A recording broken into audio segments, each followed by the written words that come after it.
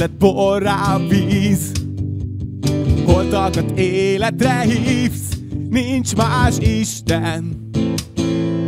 Nincsen más.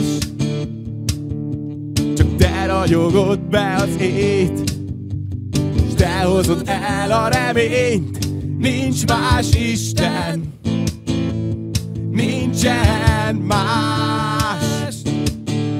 Csak te vagy az Isten Aki nevére leborul minden a földön az égen. Hegyeket mozdít, beteget gyógyít az Úr. Ma is.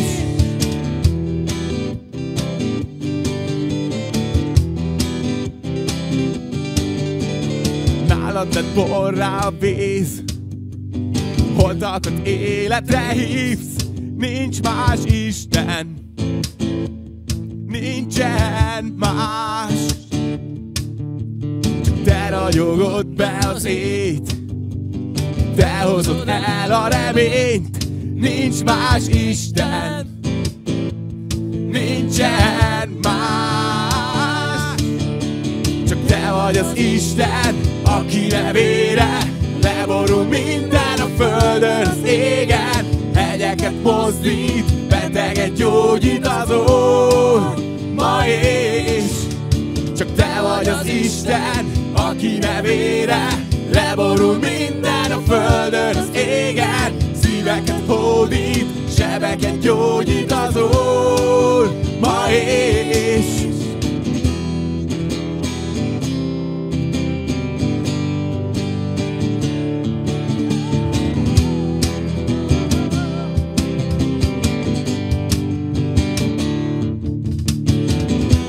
hogyha Isten velünk, ember mit árthat nekünk? Mert hogyha te vagy velünk, ki lehet ellenünk? És hogyha Isten velünk, ember mit árthat nekünk? Mert hogyha te vagy velünk, ki lehet ellenünk? És hogyha Isten velünk, ember mit árthat nekünk? Mert hogyha te vagy velünk, ki lehet ellenünk? És hogyha Isten velünk, ember mit árthat nekünk? Mert hogyha te vagy velünk, ki lehet ellenünk?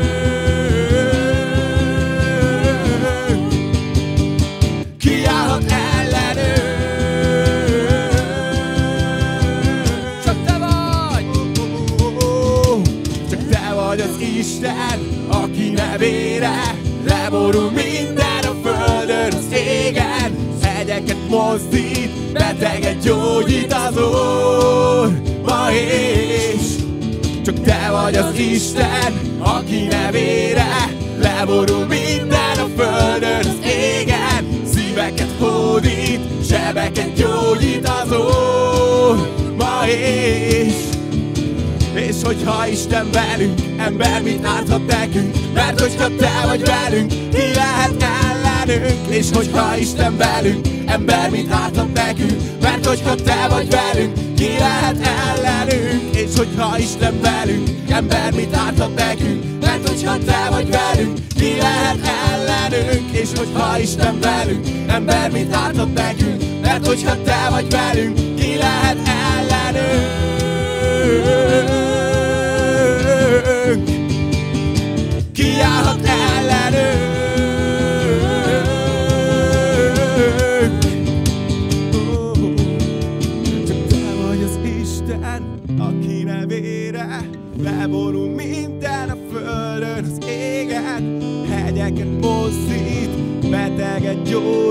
Gyógyít az Úr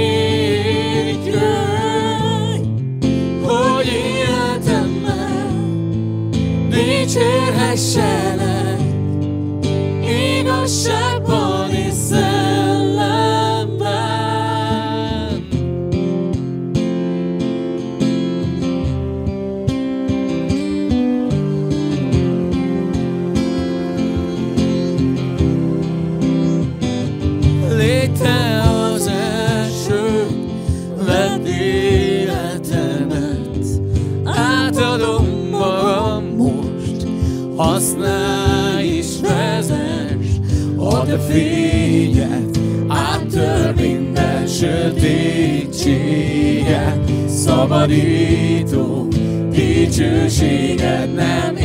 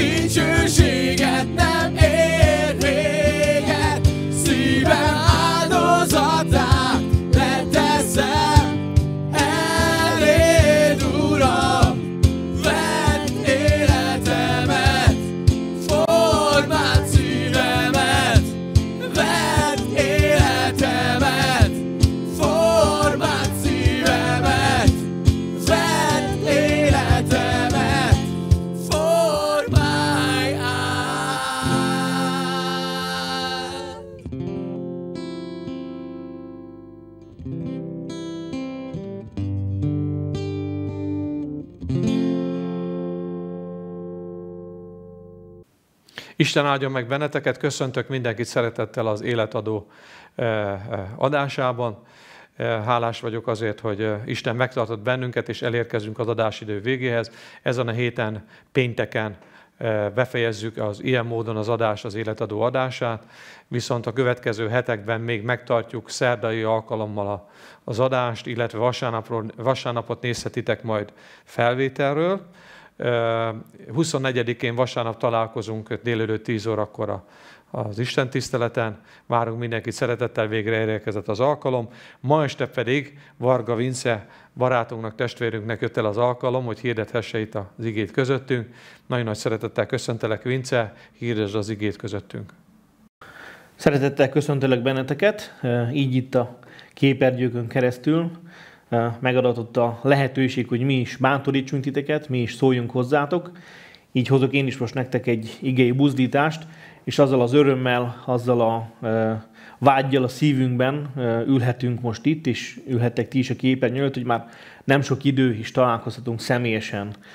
Itt a, a gyülekezetben találkozhatunk a szolgálókkal, találkozhatunk Istennel, találkozhatunk a tesókkal, Úgyhogy, ahogy édesapám fogalmazott régen, ezt még fél lábon googolva is kibírjuk ezt a pár napot, úgyhogy még kitartást kérek tőletek, és egy imával hadd menjek bele abba az ige szakaszba, abba az igébe, ami nekem mostanában nagyon sokat szólt ebben, a, ebben az elzárt időben, sokat foglalkoztam ezzel a résszel.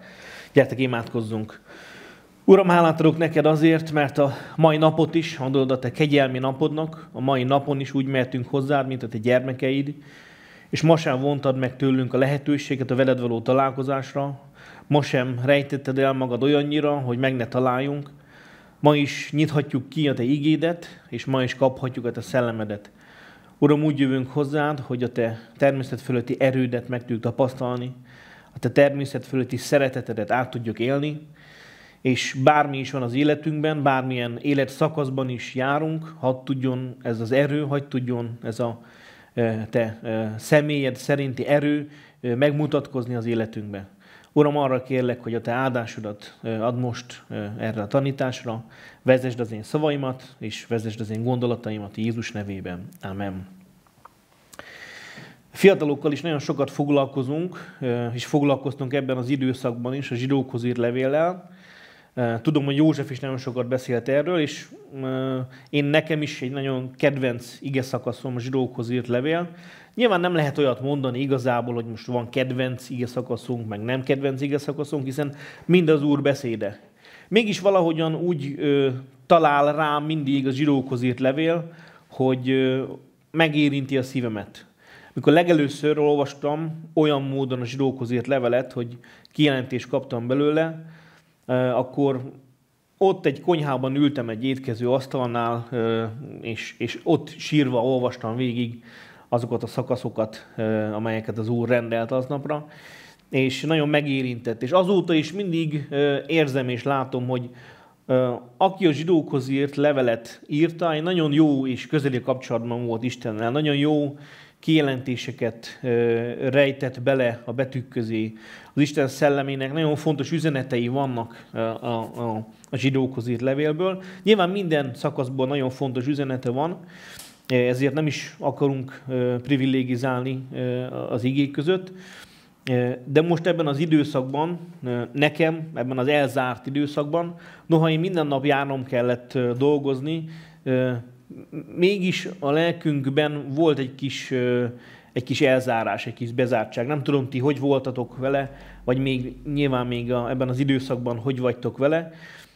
Az, hogy nem tehettük azt, amit akarunk, korlátozva voltunk bizonyos dolgokban, azért adott egy, egy beszűkült érzetet, adott egy, egy, egy, olyan, egy olyan lelkületet, amivel igazából nem találkoztunk eddig, és nem tudtuk, hogy hogyan kell kezelni.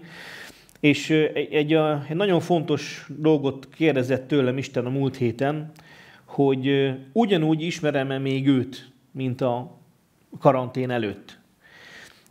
Ugyanazt az Istent ismerem-e még most így, nem is tudom mióta vagyunk korlátozva, már több mint két hónapja azt hiszem, hogy, hogy még ugyanúgy ismerem-e őt, ugyanazt gondolom-e még róla, mint ezelőtt. És nyilván mindig, ahogy haladunk az Isten megismerésében, mindig egyre többet és többet tudunk róla, mindig egyre többet és többet kutatunk az igében, az Isten személyét megismerés, megismerni, de én úgy éreztem ebben az időszakban, hogy, hogy nem előre fele gondolkodtam Istenről, nem egy fejlődésben gondolkodtam Istenről, hogy ő ennyivel több, mint tegnap, holnap ennyivel több lesz, mint a mai nap, hanem valahogyan úgy parkolópályára tettem Isten személyét. Azt gondoltam, hogy na majd, ha vége lesz a karanténnak, majd, ha vége lesz a bezártságnak, akkor, akkor majd újra beindulnak a dolgok. De Isten nem mondta azt, hogy pihenő van, Isten nem mondta azt, hogy, hogy most lekapcsolom a, a keresztény életet, és akkor majd lesz valahogy, ha vége lesz ennek az egésznek, és elkezdtem azon gondolkodni, hogy, hogy mit gondolok most Istenről. Ugyanolyan természet fölötti lénynek, természet fölötti személynek tartom, mint korábban?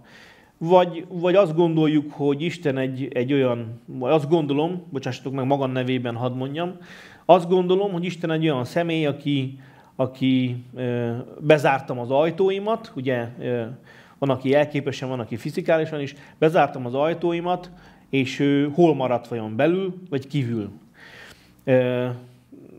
Én, én úgy gondolom, hogy az, hogy a napjainkat egy picit vegetálva éltük, úgy gondolom, hogy az, hogy a, a napjainkban kevés volt az esemény, kevés volt az inger, kevés volt, kevesebb volt akár a szolgálati lehetőség is, az, az egy olyan irányba elterelhette a figyelmünket, az enyémet legalábbis elterelte, hogy kevesebbet gondolkoztam Isten személyéről. Úgy gondoltam, hogy kevesebbszer van szükségem azokra a dolgokra, amik Istentől jönnek, amik Istentől jöhetnek. úgy gondoltam, hogy, hogy nyilván majd lesz egyszer egy, egy tök jó, visszaépülünk, a, a, idejövünk a Meteor központba, visszaépítjük a rendet, visszatérünk a régi kerékvágásba, és, és akkor majd újra fölveszem a lendületet, újra fölveszem a, a, az Istennel való kapcsolatnak azt a formáját, ahogyan, ahogyan korábban, de azt mondta Isten, hogy én még mindig itt vagyok. Az én szempontomból semmi nem változott. Én ugyanúgy szeretnélek megáldani. Ugyanúgy szeretnék az igény keresztül beszélni veled. Ugyanúgy, ugyanaz a természet fölötti személy vagyok, aki mindig is voltam. És én egy, egy olyan ige szakaszt, egy rövid ige szakaszt hadd olvassak föl nektek, ami, ami arról szól, hogy, hogy van egy olyan személy a zsidókhoz itt levélben, akiről nagyon túl sokat nem tudunk. És az ige szakasz is pont erről fog beszélni, de, de attól, hogy ő, őről nem sokat tudunk, kevés a logikai és materiális információnk erről a szeméről, attól függetlenül az ige azt mondja róla a későbbi versekben, hogy, hogy ő egy példa előttünk. És ez nem más, mint Melkisédek. Hadd olvassam föl nektek a Zsirókhoz írt levél harm, hetedik részének harmadik versét. Apjáról, anyjáról, vagy származásáról semmit nem tudunk. Életének sem a kezdete, sem a vége nem ismert, akárcsak Isten fia. Melkisédek is örökké pap marad. És ez egy olyan kihívás volt az én részemre Istentől, hogy én vállalom-e, és gondolom-e ugyanezt még Istenről. Hogy volt egy időszak, amikor, amikor bezáródtak az ajtóink, biztos mindannyian emlékeztek rá, nagyon mm, gondolkoztunk, hogy hogyan tartsuk meg az Isten tiszteletet, gondolkoztuk, hogy, hogy eleinte csak kevesebb ember jöjjön, aztán, aztán mégis az a döntés született, hogy, hogy nem tartunk Isten tiszteleteket és hétközi alkalmakat sem, és ugye akkor volt egy ilyen nagyon rossz hangulata az embernek. Volt egy, volt egy nagyon hogy is lehetne ezt jól mondani, akartunk rugódozni ezzel ellen a dolog ellen, akartunk más tenni, akartunk, akartunk mégiscsak az összejövetelekkel foglalkozni, de végül is a döntés ellen nem tettünk semmit, csak belsőleg küzdöttünk. Én legalábbis küzdöttem, és a fiatalok is sokat beszélgettünk többekkel, küzdöttek ők, és nagyon szerettek volna találkozni a heti találkozókon, vasárnapi a Isten tiszteleteken is. Tehát emiatt volt egy ilyen szomorúság bennünk, egy ilyen olyan állapot, amikor, amikor azt mondtuk, hogy, hogy miért ne találkozhatnánk, nem hívő emberek vagyunk-e, nem, nem hisszük-e, hogy Isten megmenthet bennünket. De ez az időszak, ami azóta eltelt, nagyon sokat tanított nekünk, nekem legalábbis nagyon sokat tanított. Arról beszélt, hogy amikor itt vagyunk az Isten tiszteleteken, amikor itt vagyunk a, a közösségben, amikor egymással kapcsolatot tartunk, akkor ugyanazt az értéket akkor ugyanazt az értéket képviseltük-e, ugyanazt az értékelést adtuk-e akár a testvéreinknek, akár Istennek, mint amit mondjuk most fogunk majd ezen az Isten tiszteleten, amikor amikor sok-sok hét után nem találkoztunk, és újra találkozhatunk. Vajon azok a vasárnap, ami, ami, amikor minden héten találkoztunk, adtuk-e azt a vágyat Istennek, ami most lesz majd ezen a vasárnapon, amikor idejövünk? Adtuk-e a testvéreknek azt a figyelmet, azt az érdeklődést, ami igazából most is van már bennünk, hogy találkozni fogunk? Az, az, az a testvér, aki mellett szoktál ülni vasárnap, az elmúlt hetekben mennyire hiányzott, gondol csak végig, mennyire szeretted volna, ha, ha ott lehetsz és, és találkozhatsz a tesóval.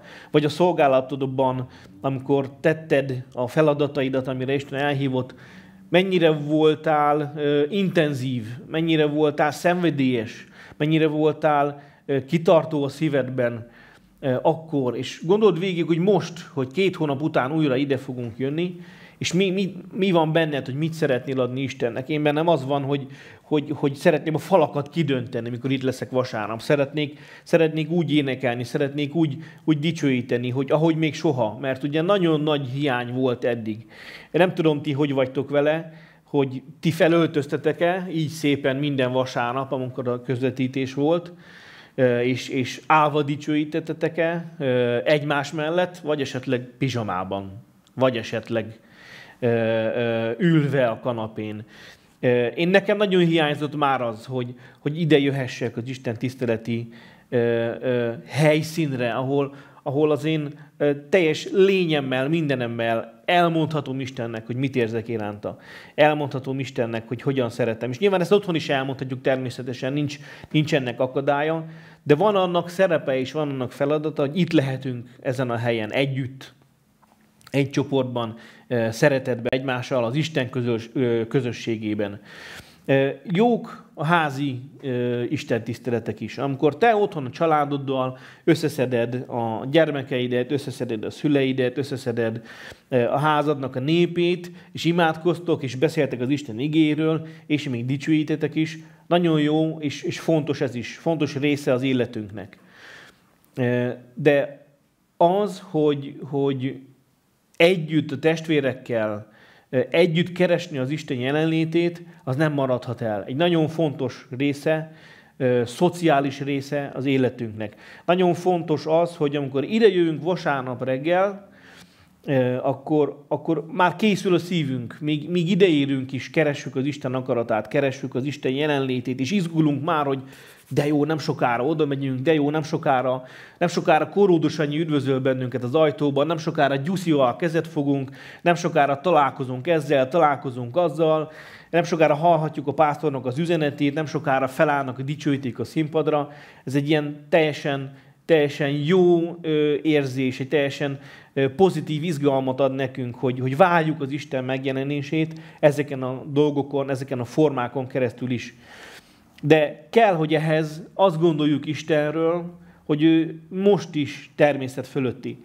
És abban az időszakban, amikor, amikor a karanténban voltunk, még hogyha egy ilyen választott helyzet is volt, akkor is, akkor is ugyanaz az Isten volt velünk. És amiket esetleg akkor elmulasztottunk, amiket én akkor elmulasztottam ezzel a két hónap alatt, azokat, azokat most Isten vissza akarja adni. Azokat, amiket esetleg nem hallottunk, esetleg nem figyeltünk, mert el voltunk a saját szomorúságunkkal foglalva, azt, most Isten azt arra figyelmeztet, hogy gyere, gyere barátom is, és fogok szólni hozzád. Gyere is, meg foglak érinteni. Szerettelek volna a karantén idején is otthon, de most gyere, ne sajnáld, bepótoljuk ezeket a dolgokat.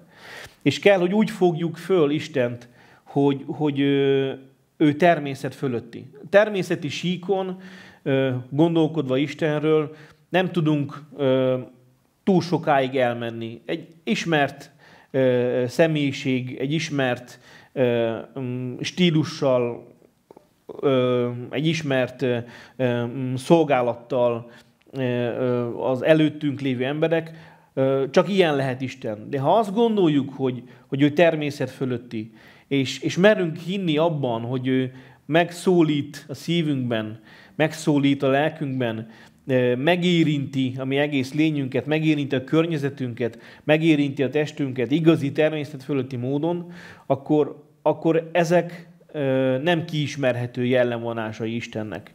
És ezzel a reménnyel tudunk eljönni minden vasárnap, hogy újra és újra találkozhatunk Istennek egy új oldalával, újra megismerhetjük Istent.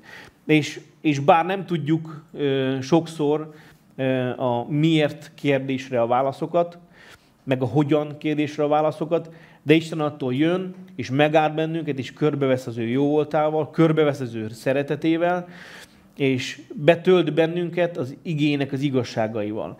És arra ö, vágyom ö, ezen a vasárnapon, amikor fogunk találkozni, hogy, hogy mindannyian teljesen függetlenül attól, hogy szolgálók vagyunk-e, vagy nem szolgálók vagyunk, szolgálunk-e éppen, vagy nem szolgálunk, úgy menjünk oda az Istenhez, úgy menjünk oda az Isten elé most vasárnap, hogy, hogy bízva az ő természet fölötti megjelenésében, bízva az ő természet fölötti erejében.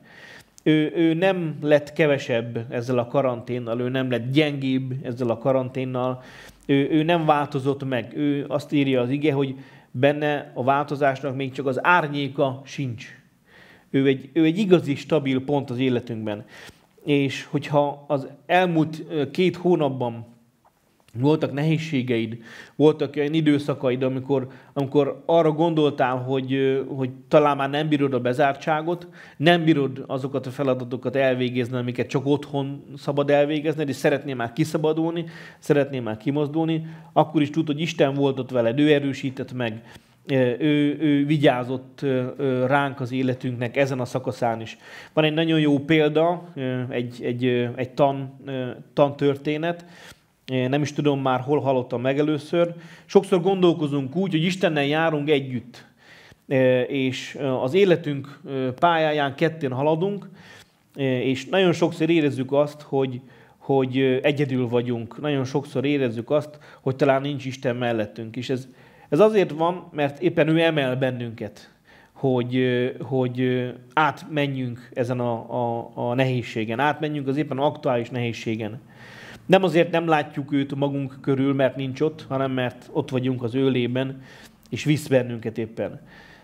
Ha, ha tudjunk úgy előre menni, és hadd tudjunk úgy fölbátorodni, hogy azokat a dolgokat, amelyeket el kell végeznünk, azokra most volt ugye ez az időszak, amikor nem tehettük meg, de nem sokára újra lehetőségünk van, és megtehetjük a feladatainkat. És egy nagyon fontos dolgot szeretnénk még hozni nektek, egy nagyon nagyon ö, ö, szükséges dolgot az életünkben, hogy nagyon fontos az, ahogyan az előbb mondtam, hogy, hogy kell, hogy lássuk Istennek a természet fölötti mi voltát, kell, hogy lássuk azt, hogy, hogy ő természet fölötti módon akar közbeavatkozni az életünkbe, viszont kell egy nagyon erős józanság is az életünkben, hogy azokat a területeket, amelyeket az életünkkel érintünk, amilyen közegben éljük az életünket, akik mellett éljük az életünket, akikkel együtt élünk, akikkel együtt szolgálunk, őket tudjuk azzal a szeretettel szeretni, tudjuk azzal a szeretettel bátorítani, amit, amit Istentől kapunk. Nagyon sokszor gondolkozunk a természet fölötti úgy, hogy az valami elérhetetlen dolog. Nagyon sokszor gondolkozunk a természet fölötti dolgokon úgy, hogy az valami valami olyan ismeretlen, valami titkos dolog, amiről fogalmunk sincs, és majd egyszer talán megértjük. De természet fölötti dolog az is, amikor úgy tudsz szeretni, ahogyan korábban nem. Természet fölötti dolog az is, amikor, amikor bár semmi okod nincs rá, mégis békességben tudsz lenni. És nagyon sokszor félre tudunk siklani, el tudunk menni az életünk több területén, hogy a természet fölötti dolgoknak azokat nevezzük, amik, amik természet fölötti megnyilvánulások. Keressük, keressük az, az égből hulló aranyport, keressük az angyali jelenéseket, keressük azokat a dolgokat, amelyekről mi úgy gondoljuk a mi információink alapján, hogy az a természet fölötti. Ugyanakkor pedig talán nem veszük észre a mellettünk lévő emberen, hogy szüksége van ránk. Ugyanakkor talán nem veszük észre, hogy a gyerekeink vagy a szüleink magányosak, és, és ránk van szüksége, hogy a, hogy a szeretetet adjuk át neki, ami bennünk van. És fontos, hogy először, először tudjunk a, a, az életünknek a saját környezetünkön belül egy áldást biztosítani. Azokat az, az élettereket, azokat az életterületeket, amelyekben benne vagyunk, ahová Isten belehelyezett bennünket, azokat maximálisan ki tudjuk tölteni az Isten szeretetével. Nem azt mondom, hogy, hogy nem jó a természet fölötti dolgokat látni. Nem azt mondom, hogy egy angyali jelenés nem az Úrtól van. Félre ne értsetek. Ezek is Istentől való dolgok lehetnek. De ne ezeket keressük, ne ezeket hajtsuk, és ne ezek után uh, kaparjunk először, hanem először tudjuk azt a szeretetet maximálisan megélni, tudjuk azt az áldást maximálisan átvenni és átadni, ami, ami ott van az órunk előtt. Sokszor vagyunk úgy, hogy, hogy messzire akarunk nézni, messzire akarunk látni, és ami pedig közelebb van, azt pedig nem látjuk. Sokszor vagyunk így, így a problémáinkkal is, hogy, hogy nem, nem a megoldásra tekintünk, nem a megoldást keresünk Istentől, hanem, hanem talán ki akarjuk kerülni. Pedig Isten azt mondja, hogy gyere velem, és én megmutatom neked, hogy hogy tudsz győzni e fölött vagy e fölött a dolog fölött. És erre bátorítalak titeket, erre a szent józanságra, erre a, erre a hogy is lehetne ezt igazából jól megfogalmazni, arra az életvitelre, arra a gondolkodásmódra, ami, ami nem rugaszkodik el a Földtől annyira, hogy, hogy ne lássa meg azokat az áldásokat, amik itt vannak körülöttünk. Azt mondja az Isten igéje, hogy közel van az Úr a megtört szívekhez. Ugye egy megtört szív maga körül már nem lát mást, ami segítene. És ezért a fentről jövő áldást, a fentről jövő segítő kezet könnyebben meglátja. De nem kell, hogy eljussunk mindannyian egy ilyen megtörtséghez. Nyilván, aki megtört, és az életében vannak ilyen nehézségek, ott, ott jön az Úr és adja az áldást. De Isten nem akarja azt, hogy mindenki teljes megtöretésig eljusson. Isten nem akarja azt, hogy mindenki teljesen ö, beleessen azokba a dolgokba, amelyeket ki is lehet kerülni, amelyeket meg is lehet oldani, amelyeket le is lehet győzni. Isten azt mondja, hogy itt vagyok, fogom a kezed, és megyek veled. És azokat a dolgokat, amelyeket elénk kerülnek, azokat vele át tudjuk lépni, vele át tudjuk vészelni, vele le tudjuk győzni ezeket a feladatokat. És tud működni az Isten igéje, tud működni az Isten szelleme az életünkben jól, tud működni ideálisan. Nagyon sokszor van ö, olyan helyzet ö, sokunknak az életében, amikor, amikor nehézségek árán tanulunk meg dolgokat. És ez, ez így van. Nagyon sokszor van, nehézség az életben, nagyon sokszor ö, látunk ö, ilyen élethelyzeteket, és megoldást ad az Úr, igen, megadja a megoldást. De Isten nem akar mindig a végletekig elvinni téged. Nem akar minket Isten mindig a végletekig ö, ö, kifeszíteni, hogy csak a problémákon keresztül tanuljunk, csak a nehézségeken keresztül tanuljunk. Azt mondja az Isten igéje, hogy ez így működik, és ha te úgy teszel, akkor azt hidd el, hogy úgy valóban fog működni. Ezek a hétköznapi dolgoktól, a nem hétköznapi dolgokon át minden, minden tud működni, mert az Isten igéje az egy meg nem változó, általános érvényű igazság az élet minden területére.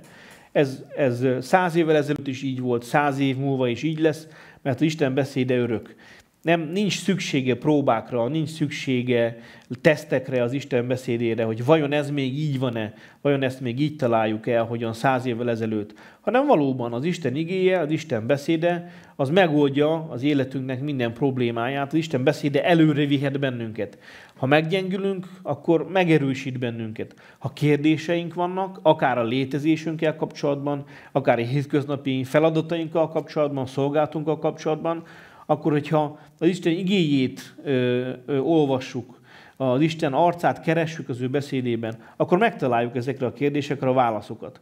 Hogyha a jellemünkben szükségünk van fejlődésre, akkor, akkor ez a jellemformálódás végbe mehet bennünk. Én emlékszem rá annak idején, mikor megtértem, akkor, akkor nagyon sok ö, hely volt a szívemben a gyűlöletnek.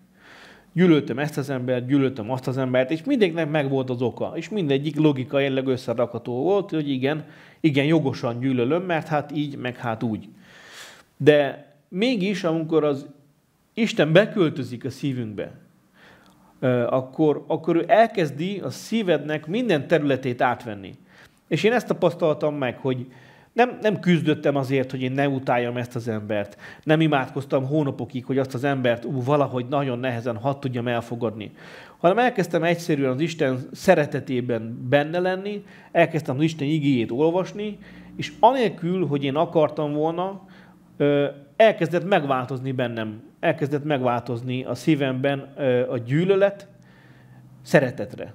Nem csak, nem csak egy ilyen hogy szokták ezt mondani, nem, nem, nem egy semleges érzés lett bennem, hogy, hogy nem gyűlölöm, de azért a távolságot tartsuk meg. Nem. Teljes mértékben Isten átformálta ezeket a dolgokat a szívben, és nem, nem tettem érte semmit. És így, így mindannyian így vagyunk, lehetünk, hogy nem, nem, nem csak a küzdelmeken keresztül ö, tudunk győzni, hanem amikor az Isten igéje életté válik bennünk, akkor az életre is fog kelni. Ez olyan, mint amikor egy, egy gyönyörű kertben, egy tiszta, makulátlan, gazmentes kertben elvetjük a veteményt. Akkor nem, nem, nincs szüksége gazra, meg nincs szüksége kapálásra, hogy ő kihajtson. Ő ki fog hajtani egy gyönyörű, tiszta kertben is. Viszont, hogyha egy, egy gazos kertben vetjük el, akkor is kihajt, csak ott ki kell szednünk a gyomokat.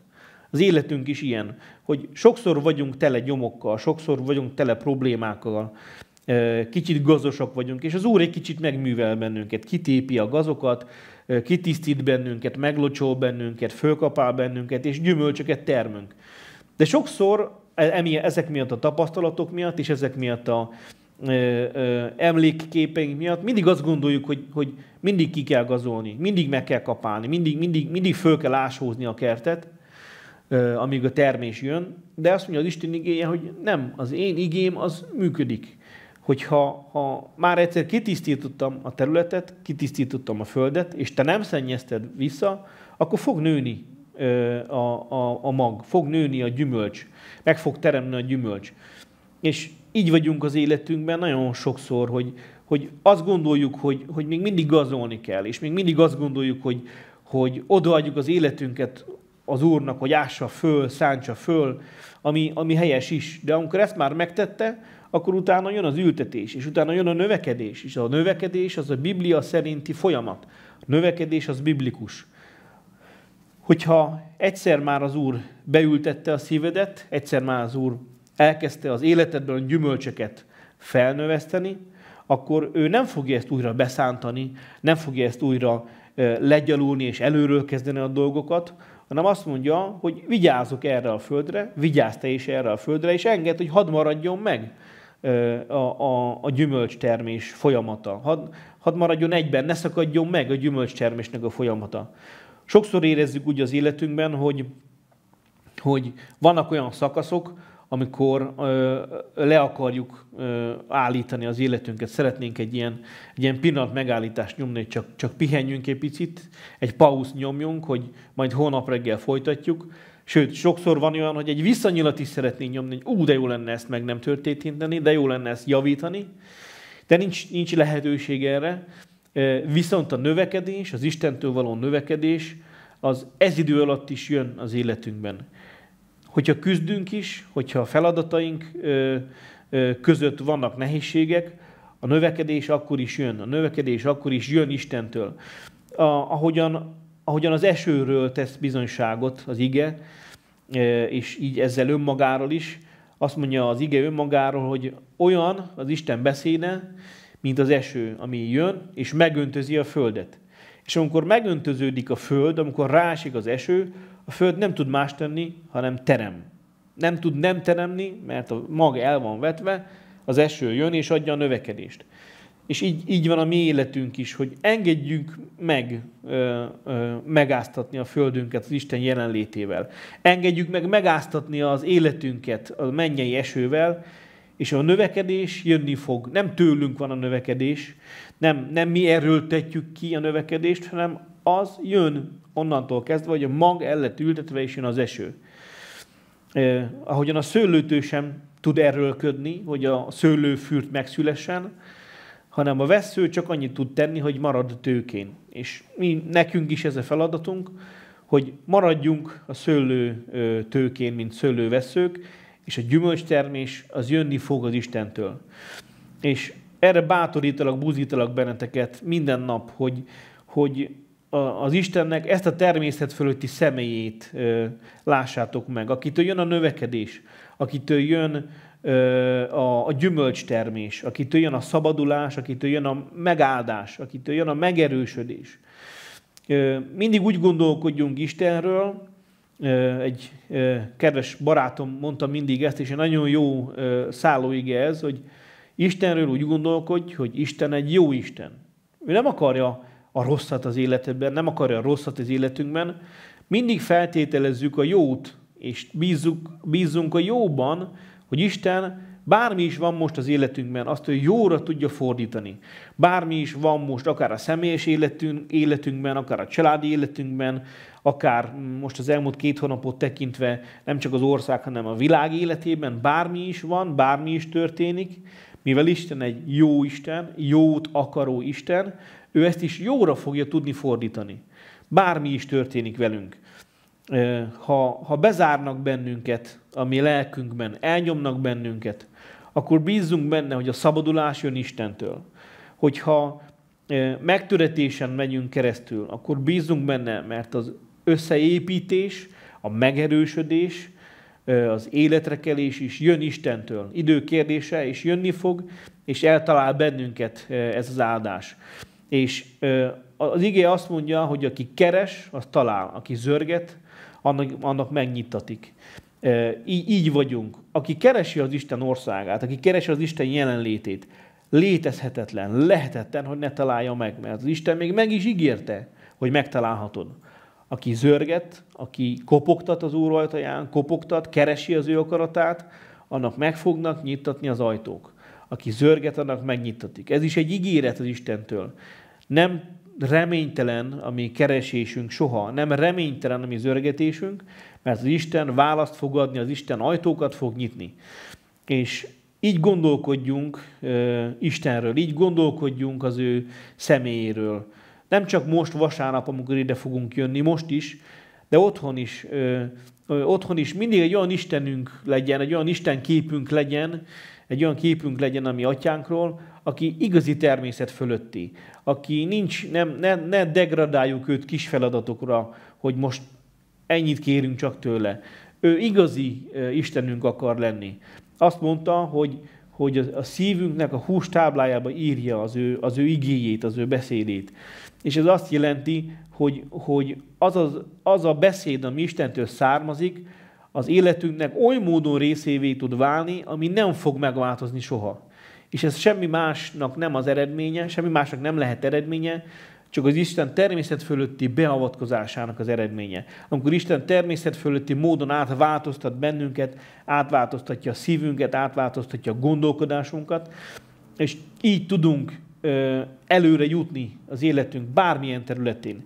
Legyen az akár itt a gyülekezetben, a szolgálatról szó, legyen az akár a civil életben, a szakmádról szó, az elhívásodról szó, legyen akár a családodban betöltött szerepedről szó. Isten minden területen maximálisan ö, ö, ki tudja elegíteni minden lehetőségedet. Akár úgy is mondhatjuk, hogy Isten ki tudja maxolni minden időszakodat az életben. A legcsúcsabb dolgokat tudja megadni, és a legtöbb lehetőséget tudja nyújtani neked azokban, amikben benne vagy. De, de el kell hinned ezeket a dolgokat. Azt mondja az Isten igéje, hogy lehetetlen hit nélkül tetszeni Istennek. Lehetetlen hit nélkül oda menni Istenhez, és dolgok után, dolgokért közben járni. Mert ha nincs hit a szívünkben, akkor mi alapján megyünk oda? Ezért bátorítalak titeket, hogy higgyétek el Isten természet fölötti, természet fölötti erejét, természet fölötti kinyilatkoztatásait. És amikor természet fölötti dolgokkal, természet fölötti nehézségekkel találkozunk, erőt próbáló nehézségekkel találkozunk, akkor biztosan oda mehetünk Istenhez, és emiatt bízhatunk Istenben, hogy mivel ő egy minden erőt képviselő személy, ő le tudja győzni azokat a nehézségeket, amelyek vannak bennünk. Így tudunk oda menni vasárnap, amikor a betegekért imádkozunk. Így tudunk oda menni a, gyerek, a gyerekeinkért, mikor ö, ö, ö, elindulnak az iskolába, és azt akarjuk, hogy az Úr védje meg őket minden ott rejtőzködő ö, csapdától. Ez a hit lehet a szívünkben. Ez a hit kell, hogy ott legyen a szívünkben. És ezek tudják behívni a természet fölötti szellemvilágban lévő dolgokat ide, a természetes világban. Nem közlekedünk természetes és természet fölötti világ között, ezt ne értsétek félre. Tehát nem megyünk a mennyországba hétfőtől péntekig, nem járkálunk itt, nem járkálunk ott. Mi itt élünk ebben a világban. Most, amíg ebben a materiális testben vagyunk, addig ebben a világban vagyunk, és ebben a világban adja be ide Isten az ő erejét, az ő szent szellemén keresztül. És azok az ígéretek, amik arról szólnak, hogy ott leszünk majd vele, az ennek az időszaknak, ennek a történelmi időszaknak a végén lesz majd, amikor találkozásunk lesz Istennel. Úgy megyünk oda Istenhez, és valóságos, fizikai találkozásunk lesz vele, de ez majd akkor. De addig, amíg itt vagyunk, nagyon fontos feladataink vannak. Vannak olyan feladatok, amelyeket muszáj itt elvégeznünk, azért, hogy győztes legyen az Isten népe, győztes legyen az Isten országa, és minél több ember megmenekülhessen, és minél több ember rátalálhasson a hitre, az Isten fiában való hitre. Nagyon fontos látnunk, hogy az Isten igazi természet fölötti. Ne gondoljunk róla keveset, ne gondoljunk róla kicsit, ne, ne képzeljük azt, hogy ő csak ezt, vagy csak azt tud, vagy csak így, vagy csak úgy tud az életünk beleavatkozni. Adjunk neki igazi teljhatalmat. És ha tudjunk úgy oda menni, hogy bár ahogy a melkisédeknél is nem tudunk semmit melkisédekről ezen a néhány ige szakaszon kívül, sőt, még azt sem tudjuk, hogy honnan származik, kik a szülei. Mégis az Isten áldása, az Isten terve rajta van, így vagyunk a mi életünkben is. Talán vannak nehézségeink, és nem tudjuk az elejét, és nem látjuk a végét, de az Isten áldása rajtunk lesz. És az Istenről gondolkodni mindig hasznos dolog. Az Istenről elmélkedni, az Isten személyét kutatni mindig hasznos dolog bennünk lakozó Szent Szellem mindig megmutatja, hogy ki is az Isten, akiről gondolkodunk. Megmutatja az Isten igéjében a Szent Szellem, hogy ki az Isten, aki, akivel mi kapcsolatot építünk. Így bátorítalak titeket, hogy most vasárnap, itt a gyülekezetben is, de addig is, odahaza, keressük az Isten jelenlétét, a természet fölötti Istennek a jelenlétét, és vágyjunk azokra a dolgokra, amelyek le vannak írva az igében nem, nem azoknak a koroknak íródott le csak és kizárólag. Ez nekünk is, ma is lehetőségünk, ma is szól az Isten igéje. Isten, ahogyan akkor Istene volt az akkori népnek, ugyanúgy Istenünk nekünk is ma itt 2020-ban. Így bátorítalak titeket, és arra kérem az én atyámat, hogy, hogy látogasson meg bennünket otthonainkban is, és vasárnap is mutassa meg az ő közelségét, mutassa meg az ő szeretetét, és az ő áldása nyugodjon meg rajtunk. Isten áldjon meneteket, búcsúzó még egy imát hadd mondjak, hadd menjünk oda együtt az Isten jelenlétébe, és, és bátorodjon a szívünk az ima alatt.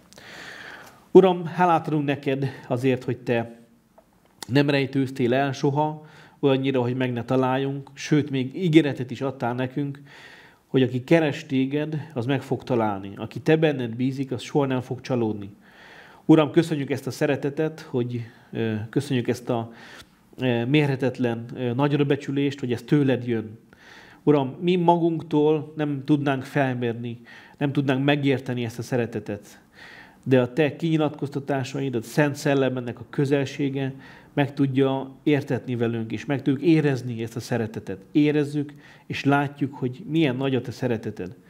Uram, arra kérlek, hogy segíts nekünk túllépni a materiális gondolkodásunkon, segíts nekünk túllépni az eddigi tapasztalatainkon, tapasztalatainkon, segíts nekünk, Uram, hogy szakítsunk az eddigi szokásainkkal, és lássunk meg téged minden nap új oldaladról. Lássuk meg a te természet fölötti erődet, a te természet fölötti mi voltodat. De ugyanakkor adj nekünk, Uram, szent józanságot is, hogy azt, amit te mutatsz nekünk, és azt, amiben téged látunk, azt ismerjük meg. És ami saját magunkból származna, ami saját magunk elképzelése lenne, azokat el akarjuk hagyni Istenem. És akarjuk, hogy teljesen az egész elménk, az egész szívünk, az egész érzelmi világunk, és az egész szellemünk fölött te légy Úr, te légy, aki vezetsz bennünket, és aki megáldoz bennünket.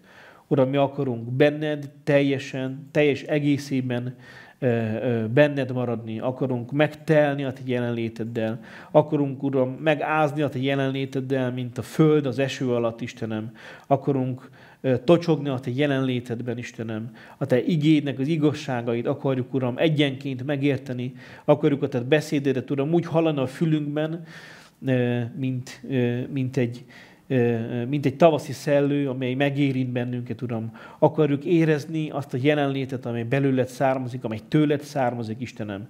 És így kérek áldást, Atyám, a mostani vasárnapunkra. Köszönjük, Uram, hogy újra összejöhetünk, köszönjük, Istenem, hogy újra találkozhatunk, a mi gyülekezetben lévő testvéreinkkel együtt, a Te szellemeddel.